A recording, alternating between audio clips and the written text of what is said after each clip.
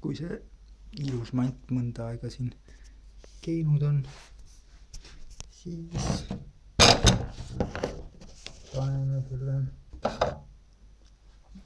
Aga margist läbi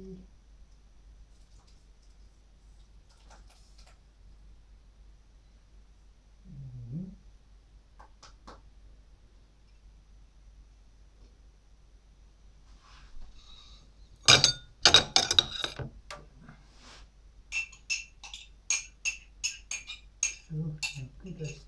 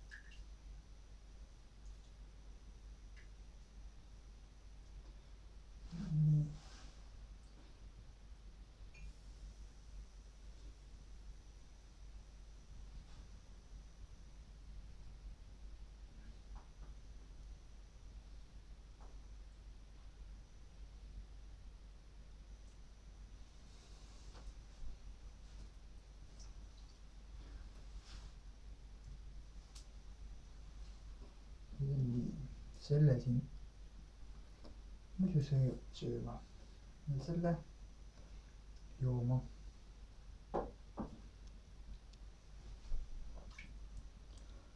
see on korralik ajuaska taoline jook siia tekkinud.